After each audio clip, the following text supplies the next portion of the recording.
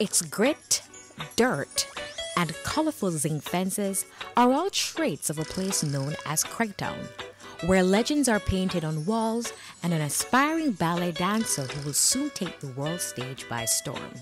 Meet 22 year old Javal Matthew Lewis, a young man from the inner city who has followed his dream in becoming a professional ballet dancer.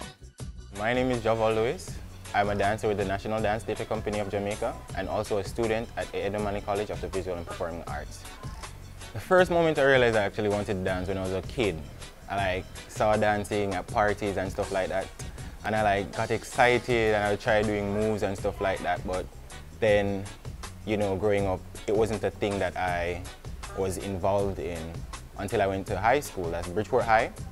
And they had dancing as an extracurriculum activity. And then I got to be a part of the, the dance group.